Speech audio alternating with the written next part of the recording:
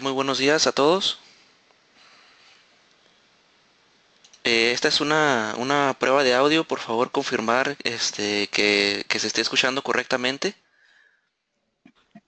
Ahí a través del, del, panel de preguntas o del chat. Hola, muy buen día. De este lado Germán Espinosa de Simon. En un momento más comenzamos.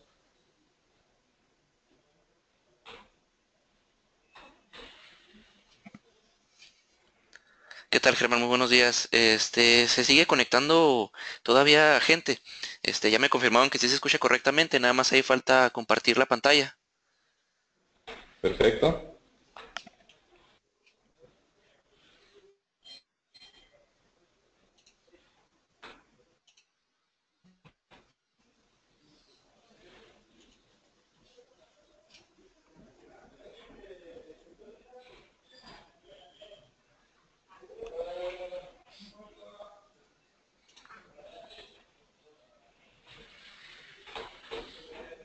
Me sale deshabilitada la opción de mostrar la pantalla. No sé si tengo control. A ver ahí, Germán, por favor, intenta de nuevo.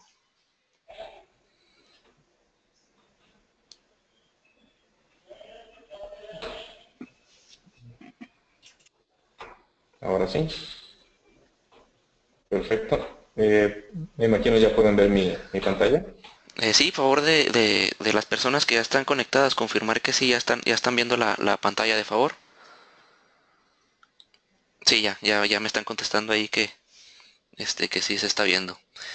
Este, ¿Qué tal? Muy buenos días. Este, de nuevo, eh, yo me presento. Mi nombre es Adrián Alarcón, del Departamento de Ingeniería de, Networking aquí en Cisco. El día de hoy nos acompaña este, el ingeniero Germán Espinosa de Simon, que nos va a impartir este, este, este webinario. ¿Sí? Germán, muy buenos días. Muy buenos días, Adrián. Muchas gracias por, por el espacio. Y aprovecho eh, para agradecer a, Cisco, nuestro distribuidor autorizado de la marca Simon en, México. Eh, me presento también, su servidor Germán Espinosa, estoy como gerente regional de ventas para México, eh, soportando todos los, los requisitos de nuestros distribuidores, de nuestros canales integradores, usuarios finales directamente para todas nuestras soluciones de conectividad.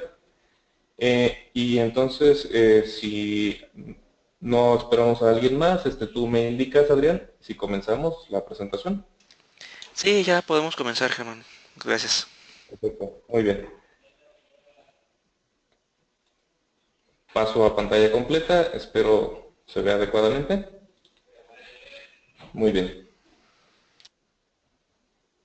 Eh, nuestro webinar eh, titulado Soluciones de Conectividad de Tecnologías de Información y Comunicaciones de Simon vamos a abordar eh, los siguientes eh, temas. Nuestro contenido va a ser una pequeña introducción de quién es Simon, nuestra experiencia en conectividad, y después un pequeño tema de diferenciadores y soluciones en Simon, precisamente, cuáles son esas fortalezas que tenemos como fabricante de soluciones de conectividad. Después vamos a ver brevemente también el tema de estándares de cableado estructurado y cuáles son esas tendencias eh, tecnológicas que se están presentando hoy en día. Vamos a revisar los sistemas de cableado de par prensado blindado, es decir, los sistemas de, de par prensado de cobre. También las aplicaciones Power over Ethernet y su relación con el Internet de las Cosas, que va a ser también un tema importante, central de esta presentación por todos los nuevos dispositivos y aplicaciones que están emergiendo y que van en aumento. Después veremos relacionado con este Internet de las cosas y diferentes dispositivos, la convergencia, es decir, cómo vamos a poder optimizar nuestra infraestructura con estas aplicaciones IP, poder llevarlas por un mismo cable, por una misma canalización, pero con base en un diseño zonificado, ¿verdad? que vuelva a tomar una importancia en lo que es el cable estructurado. Soluciones de fibra óptica, lo que llamamos plug and play, es decir, soluciones preconectorizadas de muy alto desempeño y rápida terminación, muy rápida implementación, así como las soluciones de muy alta densidad para, por ejemplo, centros de datos. Gabinetes y la parte de la administración, organización del cableado, los tipos de accesorios con los que cuentan estos gabinetes, y después la sección de Power and Cooling, que cuando decimos Power and Cooling se refiere a nuestras PDUs o barras de contactos, que también tenemos nuestra solución, Simon, y en lo que es cooling, en enfriamiento, para dejar en claro, no, obviamente no tenemos equipos de climatización, sino que hablamos de enfriamiento pasivo, ¿verdad? Desde placas ciegas para evitar fugas de aire, sistemas de contención, etc. Y por último, revisaríamos eh, rápido las herramientas Simon, por ejemplo el catálogo en línea, algunos configuradores, herramientas que les sirven para sus diseños del día a día. Perfecto. Con el primer tema de introducción, vamos a hablar un poquito de Simon. No me voy a alargar mucho en este tema, pero quiero que sepan ustedes que Simon no es una empresa nueva, es una empresa que tiene más de 113 años eh, de existencia eh, pionero en el área de telecomunicaciones. Fuimos los primeros en eh, fabricar un bloque tripolar para telefonía. Y bueno, de ahí nuestra carrera en telecomunicaciones. Y el liderazgo tecnológico de Simon se basa principalmente en que todos los componentes, cualquier componente que ustedes vean de Simon, es diseñado en casa. Es diseñado 100% en nuestros laboratorios y que además de contar con más de 400 patentes de cableado estructurado, tema importante, ¿por qué? Porque Simon es una empresa que reinvierte bastante en desarrollo e investigación. También estamos altamente comprometidos con la estandarización, ¿verdad? Es decir, con todas las normas de cableado estructurado. Por ejemplo, nuestro CEO John Simon es quien representa a la ANSI-TIA en los comités internacionales de normas. O por ejemplo, otro eh, gerente técnico para Latinoamérica, es quien representa a toda Latinoamérica en los congresos de la ISOYEC, los congresos internacionales también de estandarización.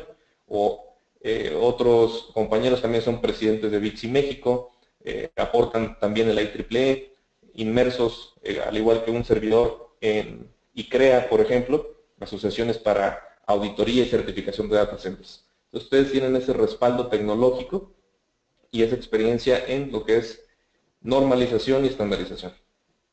Tenemos servicios especializados, es decir, no únicamente somos un fabricante que vende cajas de cable, ¿cierto? Sino que también tenemos servicios. Por ejemplo, GPS es un servicio de proyectos globales. En términos muy sencillos, es un servicio que hace sentido para todos aquellos clientes que tienen múltiples sucursales es decir, imaginemos eh, el caso de éxito a nivel nacional en México es con Grupo Modelo. Imaginemos cuántas sucursales, bodeguitas, oficinas tiene por toda la República en donde requieren cableado.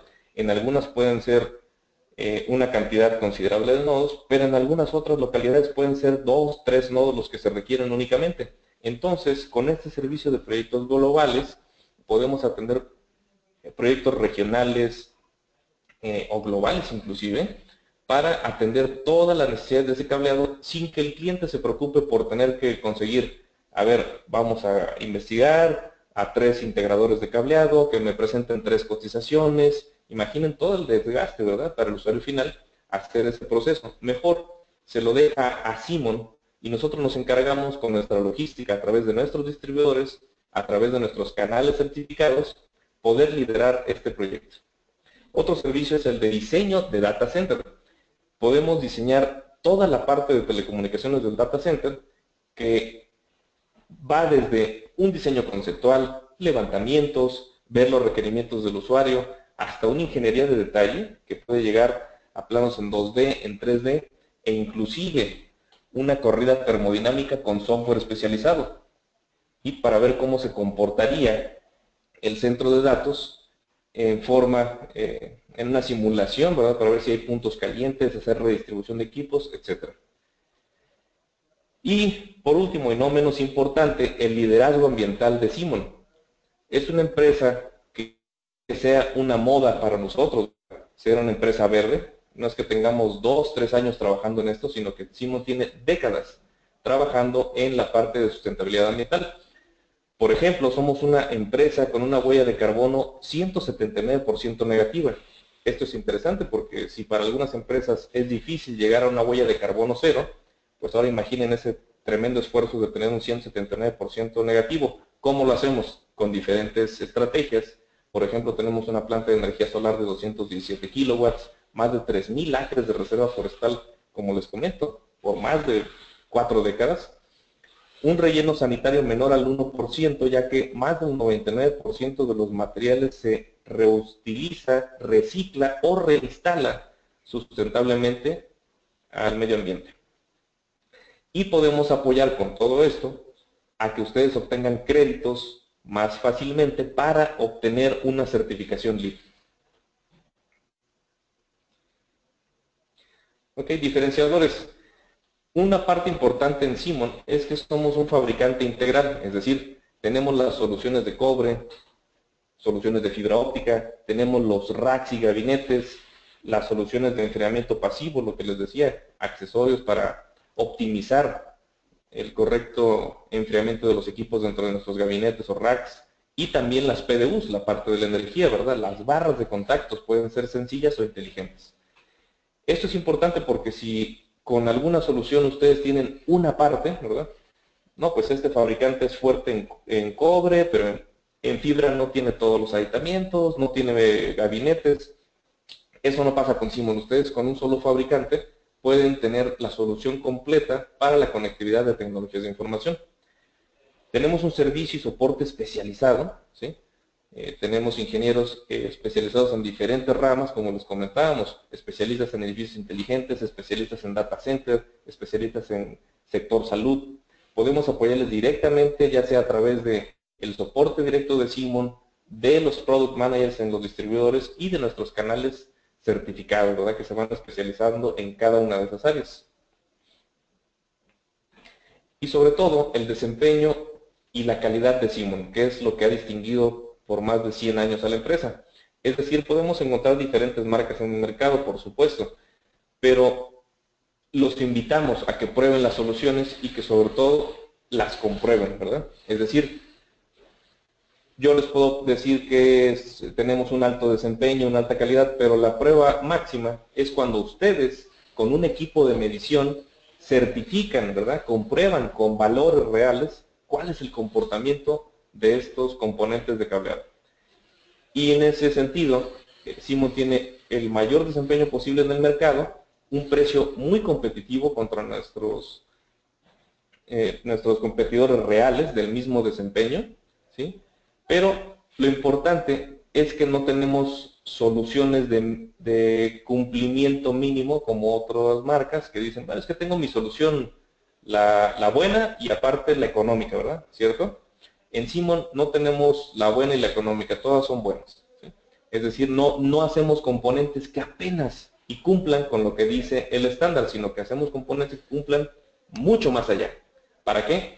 Para protegernos de todas las condiciones no ideales que nos vamos a encontrar en campo. Un anuncio importante, la publicación CIO Review de Cisco, año con año evalúa los 20 proveedores más confiables en data center. Y aquí, el único proveedor de cableado estructurado mencionado dentro de ese listado, pues es Simon. ¿sí? ¿Por qué? Porque como dice la leyenda que vemos aquí, reconoce a Simon como un proveedor de infraestructura de cableado de alto desempeño para data centers. No es marketing, no es eh, publicidad, no, sino que nos reconoce por el desempeño. Y aquí dentro de estos 20, como decíamos, puede haber fabricantes de UPS, de servidores, de equipos de climatización, etcétera, pero el único de cableado mencionado es la compañía Simon. Alianzas estratégicas precisamente con Cisco, como vamos a ver más adelante, también con IBM, somos integradores globales y Tier 1 reconocidos, con HP. Entonces es muy importante que vean que este tipo de empresas confía plenamente en las soluciones de Simon. Entrando al tema de estandarización y tendencias en cableado, sabemos que existen diferentes estándares, ¿cierto? Algunos han escuchado algunos seguramente han trabajado con ellos. Pero estoy seguro que el 90% escuchamos, oímos, manejamos los estándares de la TIA, ¿cierto? El estándar TIA 568, el TIA 569, el TIA 942. Pero, ¿y qué otros estándares hay? ¿Qué otros estándares conocemos? ¿Sí? Hay que tener en cuenta que los estándares de la TIA son uno de tantos, ¿verdad? No son los únicos. También tenemos estándares internacionales, los estándares ISO-JEC, como el 11801, que sería algo equiparable al 568, como el 14763, algo parecido al 569, como el 24764, algo parecido a la TIA 942. El punto es que los estándares de la TIA pertenecen a un país, es un estándar regional, es decir, son estándares norteamericanos, ¿cierto? Porque pertenecen a la ANSI. Pero los estándares ISO-JEC tienen una mucho mayor jerarquía porque son estándares internacionales. Y recordemos que nuestra Ley Federal de Metrología y Normalización establece que al no existir una norma eh, nacional, debemos primero buscar una norma internacional y entonces a falta de esta, sí podemos buscar una norma regional o de referencia. También importante que la Organización Mundial de Comercio le exige a los países dentro de tratados de libre comercio, como es el caso de México, cumplir con normas internacionales. En ese aspecto ustedes pueden estar tranquilos, que Simon cumple con normas TIA, con normas ISO, con normas EN, etc. Aquí una pequeña comparativa de las diferentes normas, como mencionábamos. Las normas de la TIA en relación con las normas de la ISO, tengan por seguro que van a encontrar una norma que hable de los mismos temas en ambas asociaciones, ¿verdad? Y tendencias, decíamos, pues ya se ratificó el 30 de junio de este año categoría 8, ¿sí? que se divide en categoría 8.1 o clase 1 y categoría 8.2 o clase 2. Finalmente, llegan a la conclusión, tanto la TEIA como la ISO, que estos cables tienen que ser blindados. El cable categoría 8.1 por lo menos tiene un blindaje, es un cable del estilo FUTP, y la categoría 8.2 es un cable doblemente blindado. Claro, hay diferencias en el alcance. Esto se define en la IEEE 802.3BQ, el grupo de trabajo de la IEEE que define los parámetros, y hay cambios, ¿verdad? Radicales. En lugar de que el enlace permanente sea de 90 metros y el canal completo de 100 metros, aquí empieza a haber algunos cambios, como por ejemplo enlaces permanentes de 24 metros y posibles canales de hasta 30 metros, dependiendo del tipo y calibre de patchwork que se utiliza para el mismo. Entonces, eso nos dice que esto está orientado, obviamente, a data centers, ¿verdad? Enlaces de muy alta velocidad, pero de corto alcance. Y antes de pasar al siguiente subtema, recalcar la importancia del cableado estructurado, ¿sí? Que tenemos que orientar nuestra consultoría hacia nuestros clientes, usuarios finales, en que ya no vean el cableado estructurado como un mal necesario. Aquí lo podemos ver claramente. Esta gráfica que obtenemos información de Garner, el analista, nos dice que en un presupuesto de un proyecto de tecnologías de información hay cuatro elementos fundamentales. El software, los servidores o equipos de redes de almacenamiento, el networking, es decir, los switches, los routers y el sistema de cableado estructurado.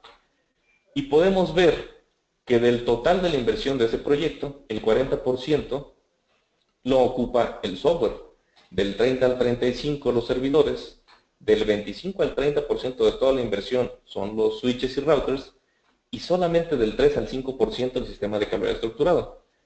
Entonces, aquí es la pregunta, ¿por qué cuando planteamos a nuestros usuarios finales una solución de alto desempeño, como dicen los estándares, ¿verdad? Para nuevas instalaciones, categoría 6A. Presentamos esta propuesta con categoría 6A y el usuario nos dice, oye, ¿cómo crees, verdad? ¿Por qué me presentas una solución 6A de alto desempeño si yo, yo necesito ahorrar, ¿no? Ponme un categoría 5 con eso funciona. Pues no, ¿sí? Las aplicaciones, eh, el software, todo va demandando, ¿sí? Eh, más transmisión de datos, ancho de banda, etcétera. Entonces ya no es lo mismo. Los estándares nos están recomendando las categorías superiores por estos adelantos y cambios tecnológicos. Pero entonces si representa solo el 3 al 5% de toda la inversión, ¿en realidad estaría ahorrando? Si pongo un categoría 5E, pues no. O sea, no impacta en toda la inversión que tengo que hacer. Por, por el contrario, aprovechemos que es el mínimo porcentaje de la inversión, especifiquemos la mayor categoría de desempeño posible para que sea una inversión que soporte toda esta infraestructura que sí cuesta el 95%, ¿cierto? Si no pongo en riesgo que opere bien el software, que trabaje bien el servidor, que opere bien la, la red LAN, etc. Y bueno, esto es cuánto cuesta, pero la otra parte de la gráfica, más importante todavía, es cuánto dura, ¿cierto? El software, que es lo más caro, es lo que menos dura, de 1.8 a 2.5 años. Es como yo les digo, no tengo que comprar un antivirus año con año para mi laptop, por ejemplo, o que ya sale una actualización, un parche, etc. Los servidores cuestan del 30 al 35 y solamente duran de 3 a 5 años. El networking de 5 a 6 años. Y en cambio el cableado estructurado, que es lo que menos me cuesta, es lo que más me puede durar, ¿verdad? 10 años. Estos 10 años, cuidado, no son los 15, 20 años de garantía de producto que les damos los fabricantes. Esa garantía de 20 años es de reposición de material, si algún componente tiene algún defecto, ¿cierto? Estos 10 años, en cambio, se refieren a que el cableado estructurado propuesto debe soportar 10 años de cambios tecnológicos de las capas superiores.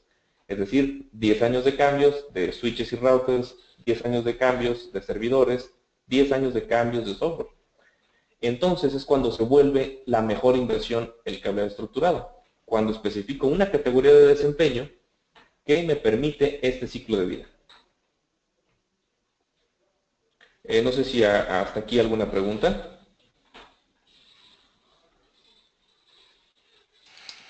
No, Germán, por lo pronto no hay, no hay preguntas. Si gustas continuar, no hay problema. Muy bien. Los sistemas blindados. Vamos a ver primero los, eh, los dos tipos de, de, cable de par trenzado, ¿verdad? Hay sistemas blindados y sistemas no blindados. Como podemos ver, el cable de la izquierda, el que seguramente conocemos más, el cable UTP, que por cierto la última revisión de la norma, su terminología correcta es U diagonal UTP. Es un cable de par trenzado de cuatro pares que no tiene ningún tipo de blindaje. Después, al centro vemos el cable F diagonal UTP. Es un cable de par trenzado en donde los pares no tienen blindaje, pero sí hay un blindaje tipo pantalla o película de aluminio protegiendo, rodeando a los cuatro pares, ¿cierto? Y por último, el cable S diagonal FTP, un cable doblemente blindado. ¿Por qué? Porque cada uno de los pares ahora sí cuenta con una pantalla de aluminio y una malla trenzada de cobre rodea a los cuatro pares. Entonces, cables sin blindaje, cables con un blindaje y cables doblemente blindados. ¿Cuáles son esas ventajas de los cables blindados? Son bastantes y, diversas las ventajas que podemos encontrar en soluciones blindadas. Aquí tenemos una comparativa entre un cable categoría 6A blindado y un 6A no blindado. Vamos a tener un desempeño superior para aplicaciones, por ejemplo, en gigabit, que requieren un ancho de banda de 500 MHz. ¿Por qué? Porque sabemos que ya el comportamiento a 500 MHz dentro del cable es muy diferente.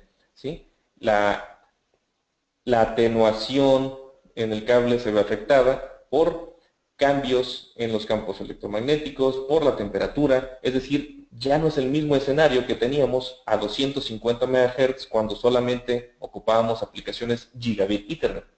¿Por qué? Porque ahora los campos electromagnéticos de cada par se incrementan en intensidad y aparte de la diafonía de par a par tenemos diafonía exógena, o que llamamos el alien crosstalk. Es decir, la intensidad de los campos magnéticos es tan fuerte que sale del cable y afecta a los cables vecinos que rodean a este cable.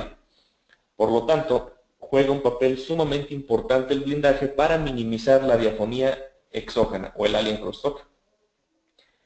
Por si fuera poco, los cables blindados categoría 6A tienen menor diámetro, es decir, son más delgados que los cables 6A sin blindaje, como podemos ver aquí en las tablas en la imagen.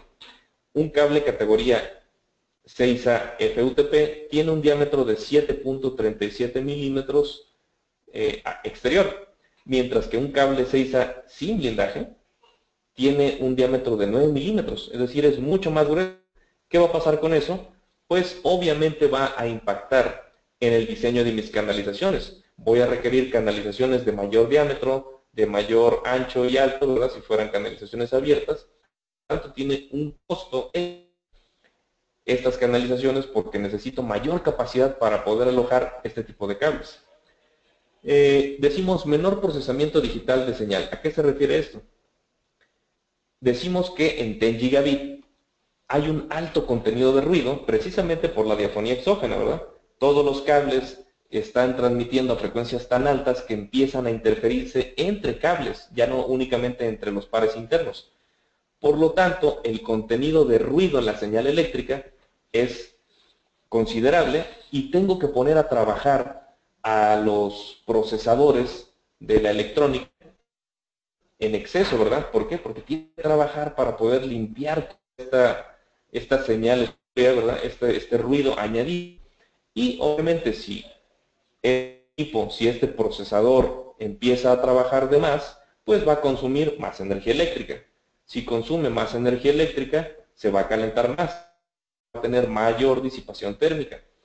Y entonces también me va a afectar porque el aire acondicionado va a tener que trabajar más para poder mantener a una temperatura estable los equipos de comunicaciones. Entonces es una cadena, ¿verdad? Que por un tipo de cable inadecuado puede estar trabajando ineficientemente en mi data center, en mi edificio, consumiendo más energía de la debida.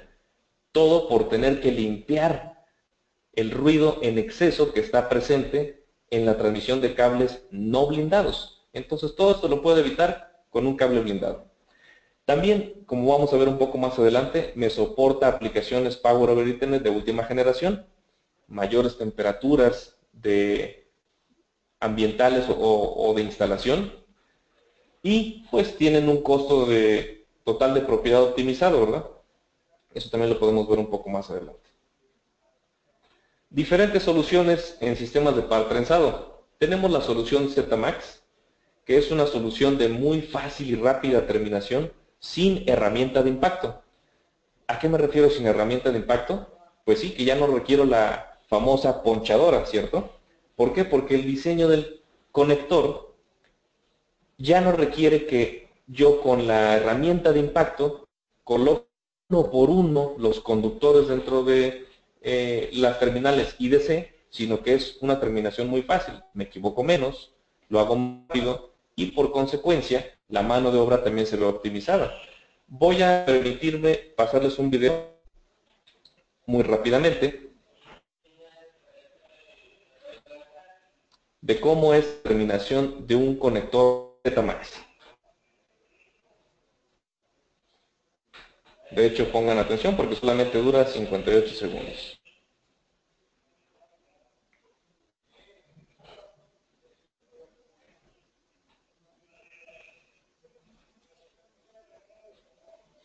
Ahí retira el forro del cable, el foil o la pantalla de aluminio la invierte, la hace hacia abajo, enreda el hilo de puesta tierra adicional. El mylar, que parece un celofán, es un elemento dieléctrico y que impide el ingreso de humedad en el cable, es una protección adicional, por cierto.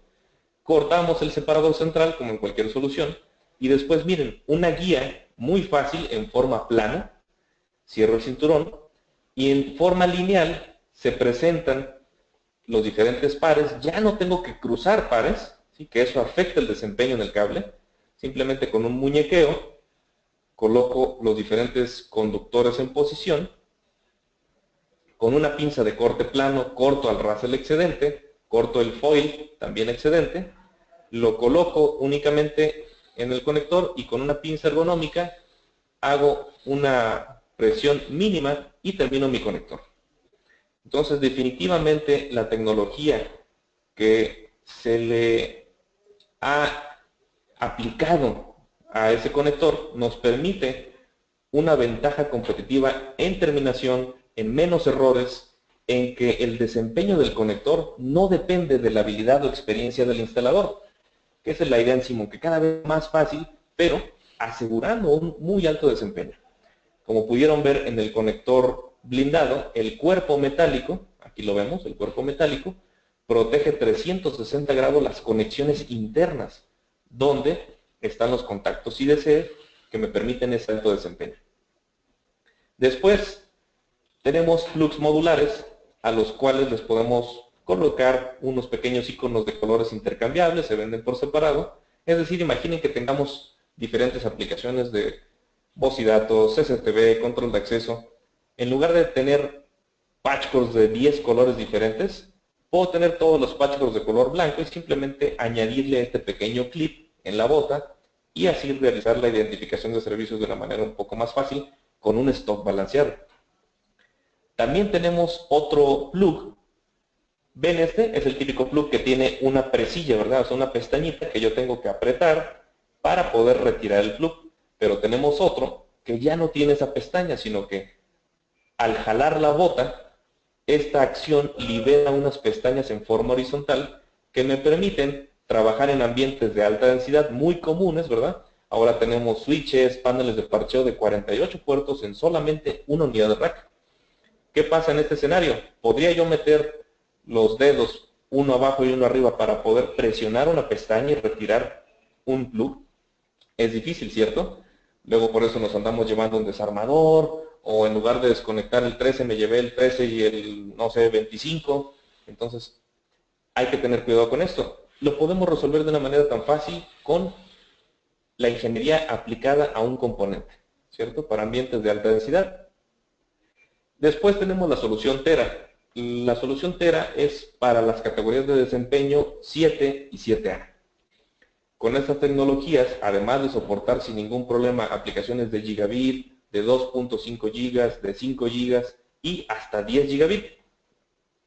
Y eventualmente podríamos llegar a soportar 25 gigabits con condiciones especiales, esperando a que se liberen los estándares. El conector muy diferente, ¿cierto?, al típico RJ45. Es un conector cuadrangular.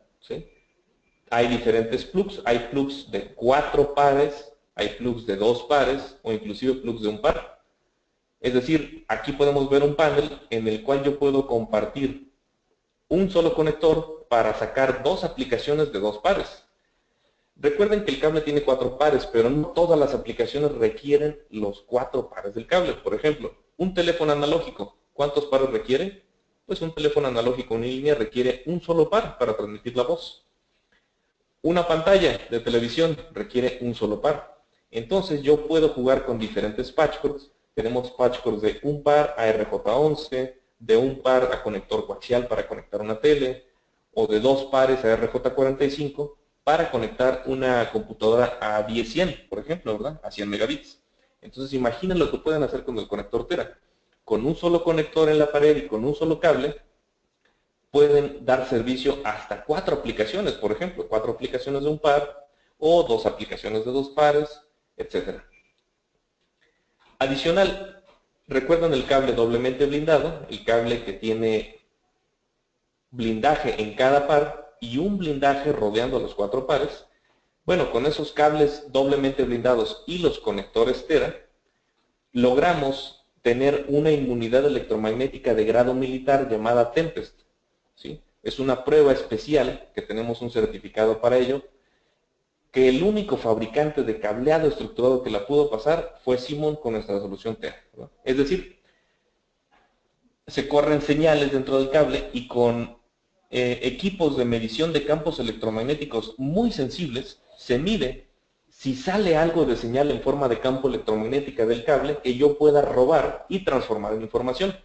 Entonces, esta prueba Tempest le interesa mucho a aquellos proyectos, por ejemplo, de, eh, de Sedena, o inclusive tenemos casos de éxito en sector bancario y también en casinos. En casinos donde les importa proteger la información al máximo para evitar fugas de información, sabotajes, y saben que al mismo cable no le pueden robar nada de información. Tenemos también soluciones de conectores industriales, la familia Rockgeist, Conectores industriales tanto para cobre o para fibra. Este es el jack, este es el plug. Ese cierre tipo bayoneta me permite una protección IP67, es decir, puede soportar inmersión de agua. Pero vamos a pensar que no lo vamos a sumergir, pero muy común en una planta industrial al terminar el día. Hay que lavar la maquinaria con agua presión, con jabón, etcétera, ¿verdad?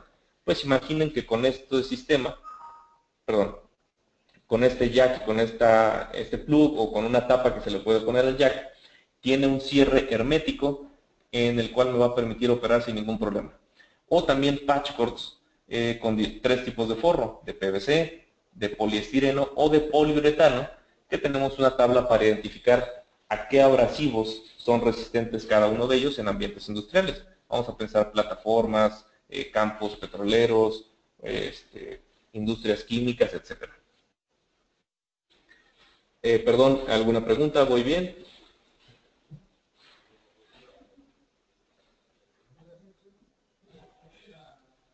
Perfecto, continuamos. Ok, el Internet de las Cosas y el Power over Internet, ¿verdad?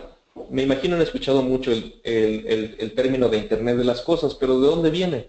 Pues viene de que cada vez tenemos más dispositivos, más aplicaciones, normalmente tenemos uno o dos celulares, la tableta, la computadora de la casa, bueno, ahora hasta el refri se conecta a internet, ¿cierto?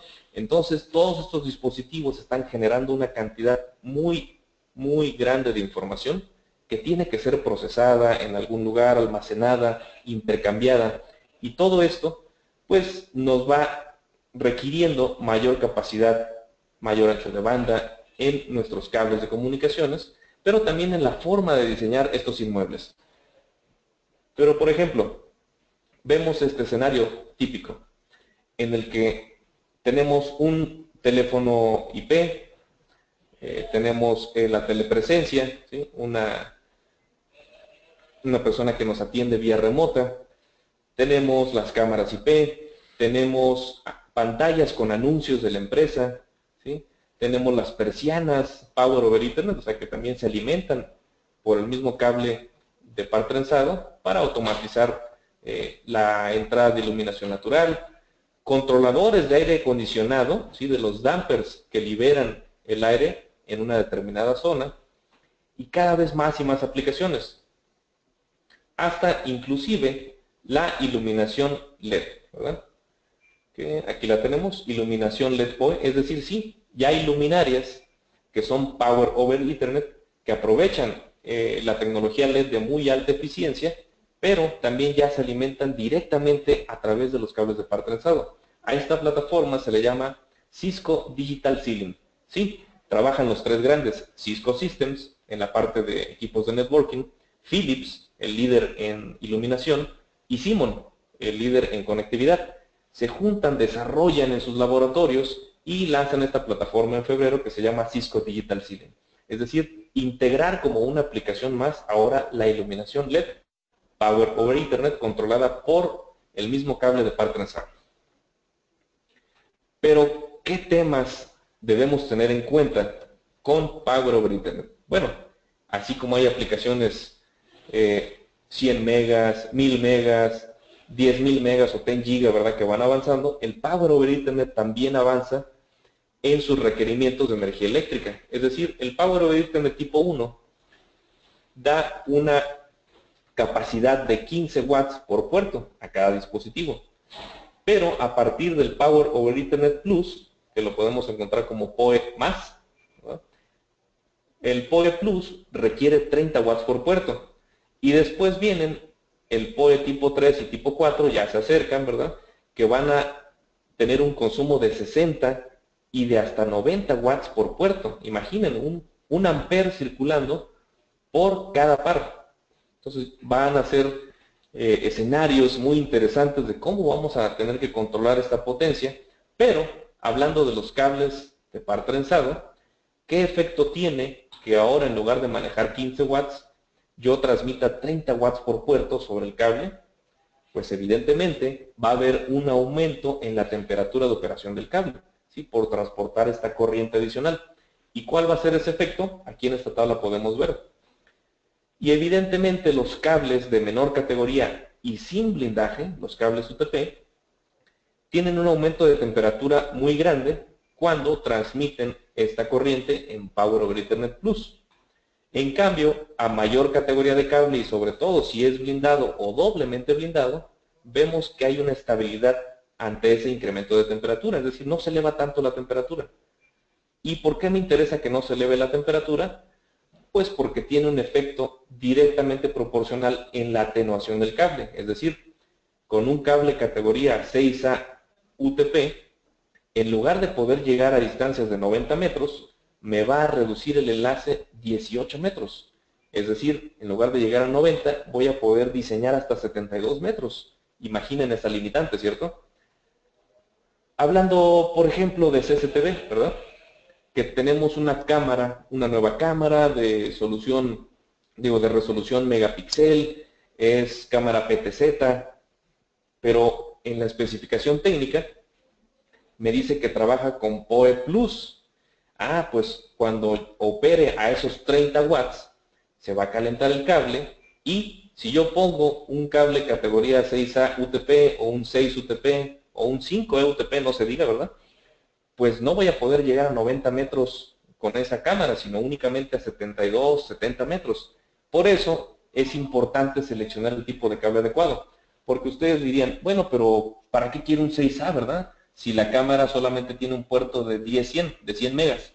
Bueno, ahora no solo nos vamos a preocupar por la velocidad del puerto Ethernet, sino también por la alimentación eléctrica que va a correr sobre él si va a importar si es POE o si es POE Plus.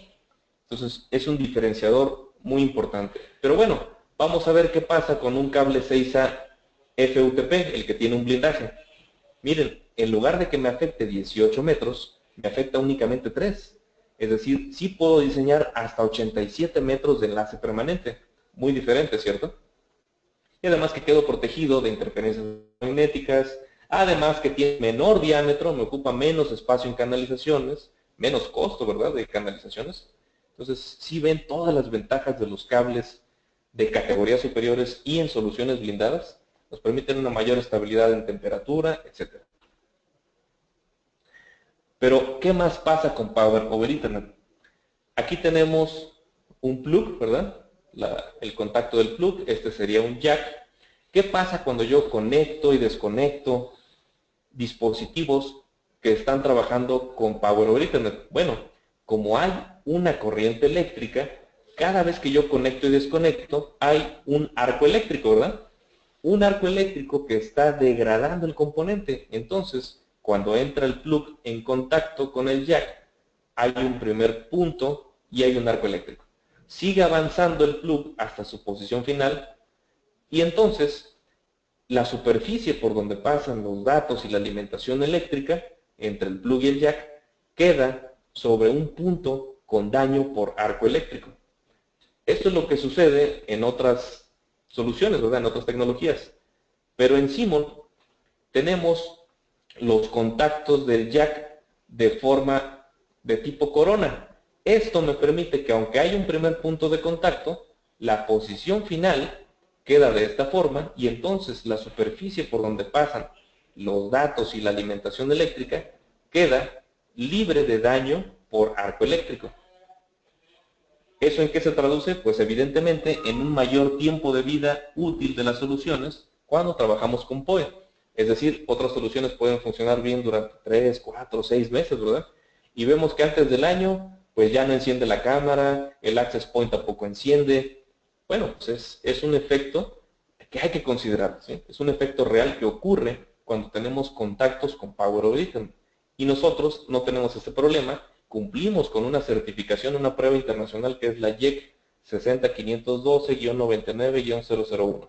Tenemos el documento también para avalar que nuestros componentes tienen un mayor tiempo de vida cuando se someten a energía con Power Origin. Perfecto.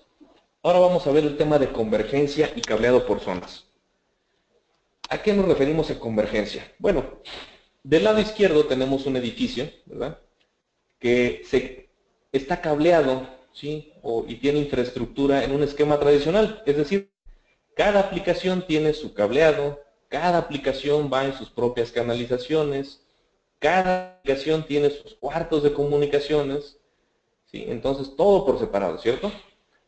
En cambio, en el esquema convergente, ¿por qué si ya todas estas aplicaciones hay tecnologías IP?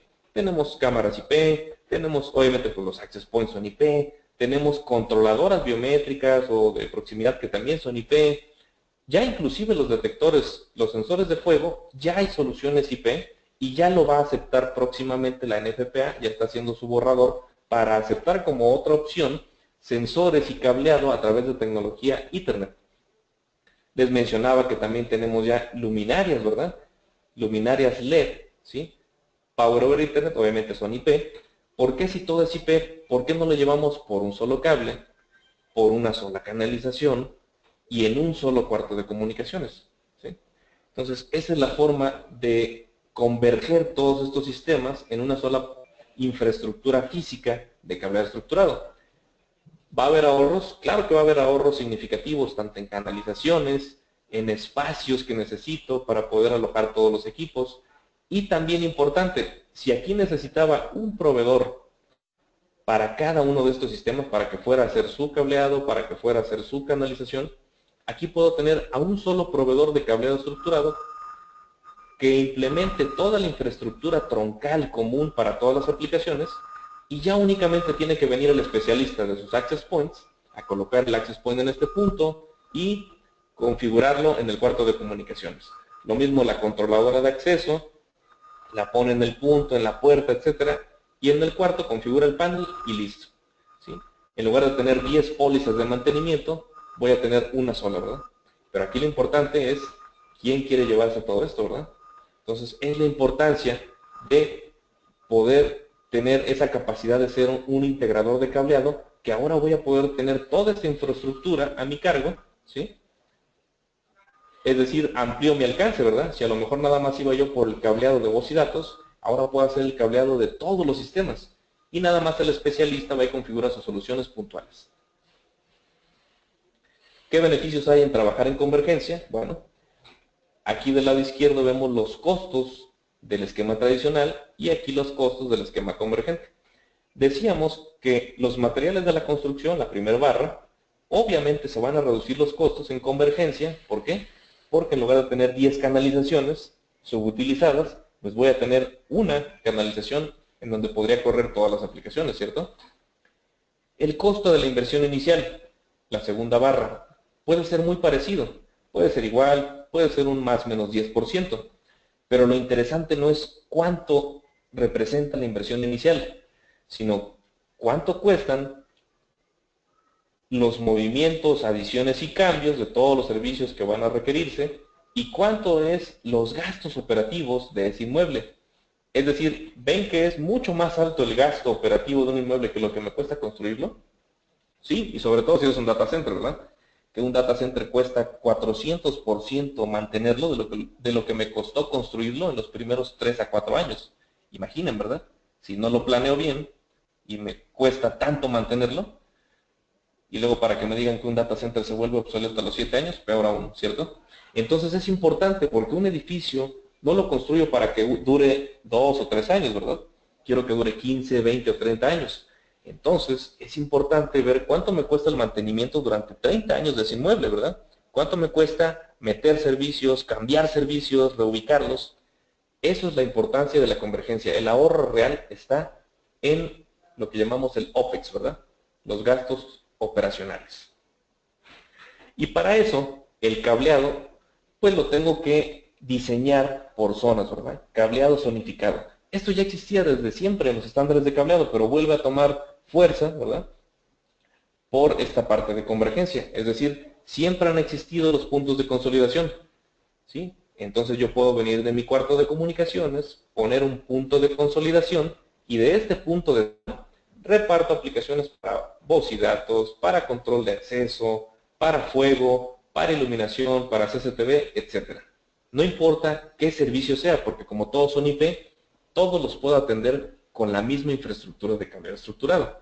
Pero para eso necesito diseñarlo de esta forma, ¿verdad? Por zonas, saber la capacidad que debo dejar preparada a futuro para que después sea menor el costo de nada más poner un cable de 2, de 5, de 8, 10 metros, ¿verdad? Contra el costo que representaría poner el cable para una cámara desde aquí, 70, 80 metros, hasta el cuarto de comunicaciones. ¿Qué elementos me voy a encontrar típicamente? Bueno, digamos que este escenario, en donde aquí abajo es el área de oficinas, esta raya representaría, digamos, el plafón, ¿verdad? El falso plafón. Y aquí arriba del plafón sabemos que hay un mundo de cables, ¿verdad? Bueno, hay que tener una consideración importante que la mayoría de los edificios donde hay un plafón, digamos un muy, muy alto porcentaje, aquí arriba hay un manejo de aire ambiental. Es decir, viene el aire acondicionado en ductos, sale el aire acondicionado, pero retorna, ¿cierto? Ocupa toda la cámara superior del plafón como retorno hacia la manejadora. Entonces, como hay una circulación de aire aquí, esto es una cámara plena. Y los códigos eléctricos me piden que yo cumpla ¿sí? con esta clasificación de los materiales que se encuentran aquí. Ustedes no se preocupen porque todos nuestros componentes tenemos cable plenum, eh, estas cajas plásticas son de termoplástico aprobado, listado por UL 2043 para utilizarse en cámaras plenas. Y aquí abajo pues vamos a encontrar estos escenarios, ¿verdad? Aquí mi cuarto de comunicaciones, el cable llega a un punto de zona, del punto de zona llego a mis salidas, y de mis salidas me conecto a mis dispositivos, ¿verdad? Ya sea un access point, un videoproyector, etc. Tenemos este tipo de caja de zona, una caja muy práctica tiene tres accesos de cables, viene con sus eh, monitores para proteger el cable, trae una placa que actúa como un panel modular, un panel vacío para aceptar hasta 24 conectores, perdón, yo puedo llegar aquí con mi cableado y de aquí salir hacia las aplicaciones, hacia eh, salidas de telecomunicaciones en una oficina para una computadora, salidas en el plafón para controlar iluminación, etcétera. También tenemos gabinetes de pared optimizados, es decir, tienen un ancho de 73 centímetros en lugar de 60. ¿Para qué? Para que yo tenga este espacio importante para poder organizar adecuadamente el cableado. Se le pueden colocar diferentes accesorios, diferentes accesos de cables, la placa fija y todo el gabinete se puede abatir para poder tener acceso a la parte posterior de los paneles. O este otro aditamento que se llama un Cable Tray Rack. Es un pequeño rack, lo hay de dos unidades, de cuatro unidades o de seis unidades de rack. Yo puedo montar distribuidores de fibra, de cobre, un switch, una barra de contactos, lo que yo necesite. Viene con los aditamentos para muy fácilmente acoplarse y sujetarse de una bandeja, ¿sí? tipo malla electrosoldada o, o de una tipo escalera, etc. Me sirve para actuar como punto de consolidación, ¿verdad? Aquí está mi cuarto, mi panel, viene el cableado, pongo ese cable, cable tray rack, pongo paneles, ¿verdad? Y de aquí salgo de nuevo con cable hacia mi salida de telecomunicaciones en el área de usuario, en el faceplate, ¿cierto? Ok, las soluciones de fibra óptica. Tenemos diferentes soluciones. Una solución de muy alta densidad. Tenemos una bandeja de fibra óptica que acepta hasta 144 puertos de fibra óptica en conector LC para ambientes de muy alta densidad, con peines organizadores que me permiten fácilmente sacar cualquier jumper en cualquier momento, aunque esto esté lleno. Se divide en tres subbandejas para manejar de 24 en 24 jumpers en lugar de 72 a la vez. Ocupa módulos o cassettes que se insertan fácilmente por la parte de enfrente o atrás. Y recuerdan el, el plug de cobre que no necesitaba una pestaña para presionarse. También tenemos el mismo plug en fibra para LC que con la acción de jalar la bota libera los seguros y no tengo que presionar nada. Y cuando hablamos de plug and play, son soluciones de fibra óptica prearmadas, es decir, ya viene preconectorizado de fábrica. Este conector, el conector MPO, tiene 12 fibras en su interior. Yo puedo pedir un cable de 30 metros para comunicar dos cuartos de comunicaciones. Pido mi cable de 30 metros con punta MTP de cada lado y es tan fácil como prender el cable, cuidar que llegue adecuadamente a la bandeja, conectarlo por la parte de atrás a un cassette haciendo clic y listo. No tengo que volver a hacer fibra óptica. Por eso dice que la implementación se lleva en un 75% menos de tiempo, ¿cierto? Y esto viene ya probado de fábrica, aunque sí tengo que hacer las pruebas de campo, ¿verdad? También, aquí están, miren los cassettes.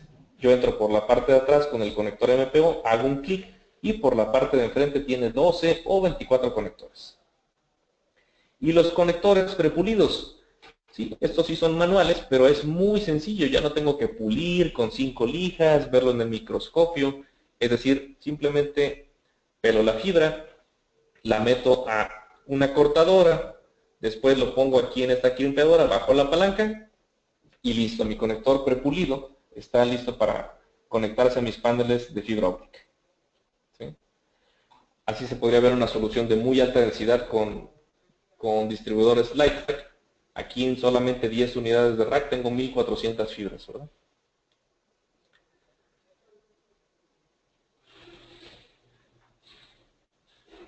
Y finalmente los gabinetes. Tenemos diferentes tipos de gabinetes. Este gabinete Versapod tiene eh, la gran particularidad de que cuando yo tengo dos gabinetes adyacentes, entre esos dos gabinetes se crea un espacio vertical que llamamos espacio 0U, en el cual puedo colocar diferentes tipos de accesorios, pero lo más importante es que es un espacio de 7 pulgadas de ancho por 6 pulgadas de fondo, porque los postes internos están remetidos 6 pulgadas. Entonces, entre dos gabinetes, tengo diferentes accesorios que puedo montar ahí, como estos. Accesorios para montar cassettes de fibra, accesorios para montar conectores de cobre o paneles combo, ¿verdad? Al centro, cassettes de fibra y a los lados, conectores de cobre. Y ven que tiene unos rieles, es porque yo puedo jalar hacia enfrente el aditamento, inspeccionar las conexiones y volverlo a poner en su lugar. Entonces, una capacidad muy alta de conexiones de fibra y cobre, muy modular e intercambiable en cualquier momento.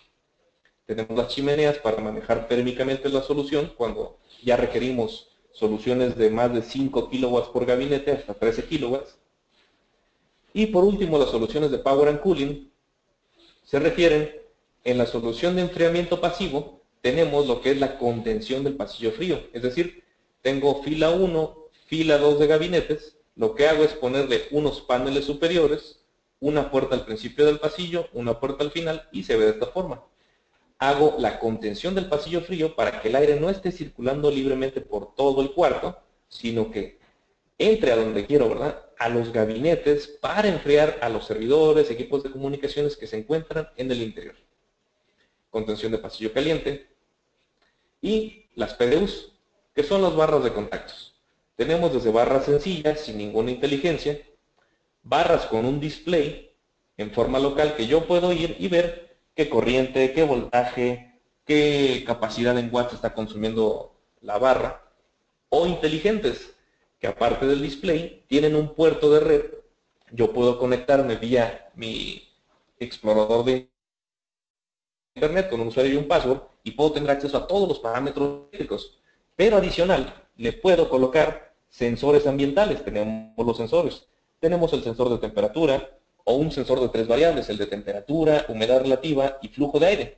Entonces, además de que puedo ver los parámetros eléctricos, puedo tener los parámetros medioambientales de mis cuartos de comunicaciones. En una sola solución, no requiere software, no paga licenciamiento y puedo tener todo en una, en una sola plataforma diferentes tipos de contactos, de entrada, de salida. Y finalmente un caso de estudio que lo podemos, eh, se los vamos a dejar en la presentación.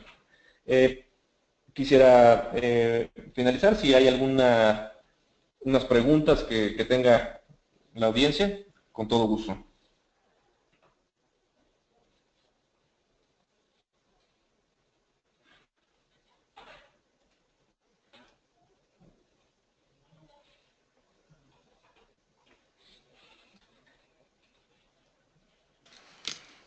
Adrián, ¿algún comentario final? Eh, ¿Qué tal, Germán? A ver, déjeme, estoy verificando aquí si tenemos este, alguna pregunta.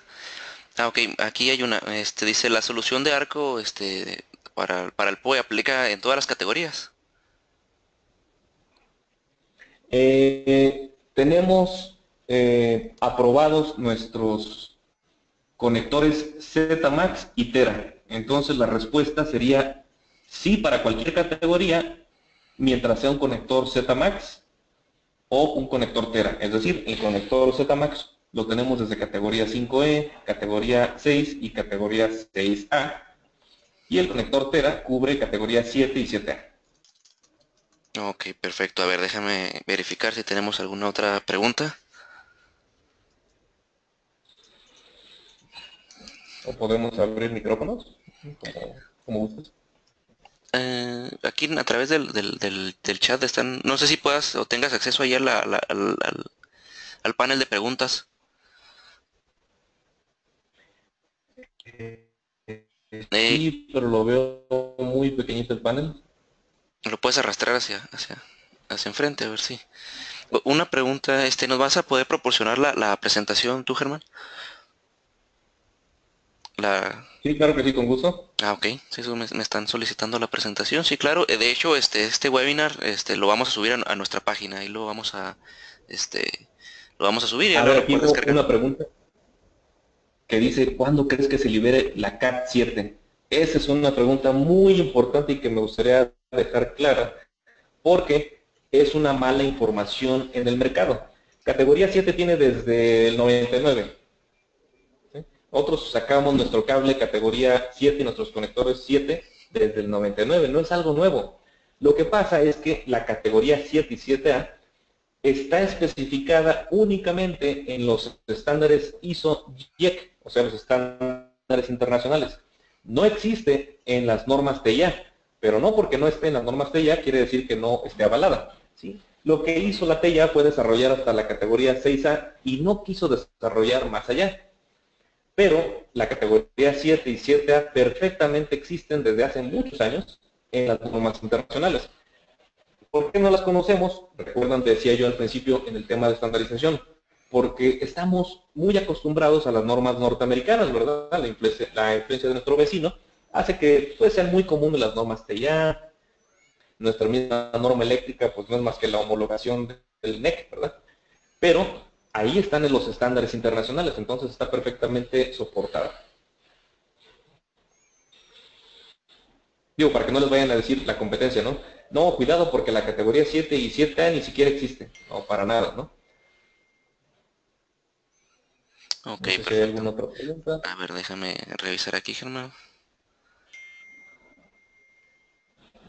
Eh, bueno, aquí preguntan que cuándo eh, Syscom tendrá estas soluciones, pues ya, ya, ya pronto ya la parte de, este, de conectividad ya nos, ya, ya nos llegó, ya la tenemos en, este, en stock. Sí, ya, ya pueden solicitar a su agente de ventas, este, si quieren alguna cotización, sí, en específico. Este ya, ya, ya, pronto lo tendremos. Así es. Y también eh, los que estén aquí en la Ciudad de México o cuando nos gusten visitar, eh, se pueden eh, comunicar con Syscom y eh, pedirnos una visita a nuestras oficinas. tenemos un demo showroom ahí de, las soluciones implementadas en los gabinetes, todos los tipos de paneles de cobre y fibra. Cuando gusten podemos este, recibirlos también.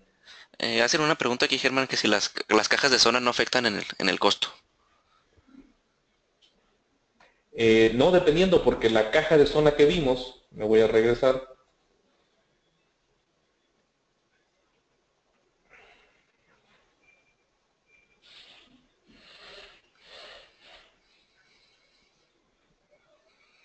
Si por ejemplo yo requiero un punto de consolidación para únicamente cableado, me conviene más esta caja que además de tener la envolvente actúa como un panel de parcheo aquí adentro. Si es puro cableado lo que voy a poner, me conviene esta caja, pero decíamos que el, cable tray rack me sirve tanto para paneles de cobre, paneles de fibra, o podría poner un switch aquí arriba, o una PDU, ¿sí me explico? Es para escenarios diferentes. Aquí tengo que considerar el costo del cable 3 rack más el costo de los paneles, pero es porque es para una aplicación diferente, me soporta diferentes eh, equipos. O cuando no tengo otra opción, ¿verdad? A lo mejor los gabinetes internamente ya están saturados, ya no hay unidad de rack dentro del gabinete donde poner un panel más, pues lo pongo aquí arriba, y no hay nada en el estándar que me impida hacer esto. Mientras yo cuide el cable, el relé de curvatura, esté bien terminado, etcétera, no tengo ningún problema. Hacen aquí muchas preguntas sobre las, la certificación, Germán. la certificación de, de, Simon, que cuando hay una disponible, este, que, dónde pueden encontrar la información. Pues bueno, la, la, información de esa parte de, lo, de los cursos, o sea, la pueden solicitar conmigo. Este, o nuestra página, en nuestra página ya tenemos programados los, los cursos RI, este, que se estarán este, impartiendo próximamente. Así es. Y eh, exacto, pueden comunicarse con Cisco para que les, eh, les pueda dar las fechas de los cursos de certificación programados por, por Simon y los que ellos tienen como distribuidor también agendados para los niveles este, RI. Eh, me hacen otra pregunta aquí, que si en la página de Simon se ubican los procedimientos para la preparación de los conectores, patch panel, etcétera. Eh, sí, sí vienen ahí en, la página, ¿verdad? Sí, los, los, los he visto yo. Exacto. Sí, que una disculpa, ese digamos que fue el último punto que nos, nos quedó nada más de la página, pero lo podemos ver rápidamente ustedes entran a, a Simon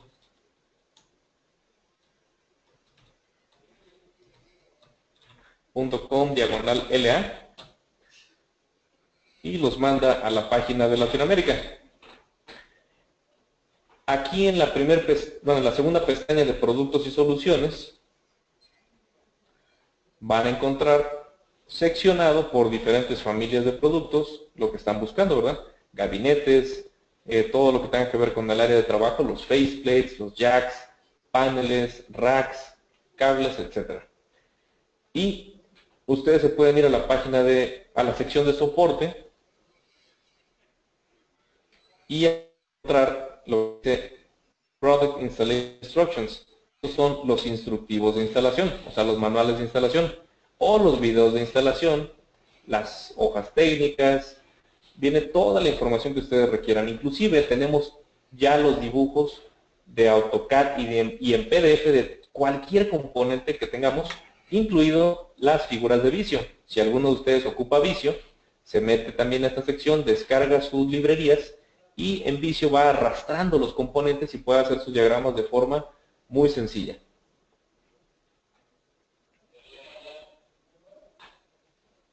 No sé si hay una pregunta adicional. ¿Es necesario este, aterrizar todos los racks de, voz y datos siempre? Si estamos utilizando un, bueno, no, la pregunta es, la respuesta es sí. No importa si estamos utilizando cable no blindado o cable blindado, el rack, la canalización, el gabinete, todo siempre debe estar puesto a tierra por código eléctrico. Pero si además estamos utilizando cableado blindado, por supuesto que debe estar cada panel independiente puesta a tierra en una barra que se coloca dentro del rack o gabinete. Les enseño esa barra.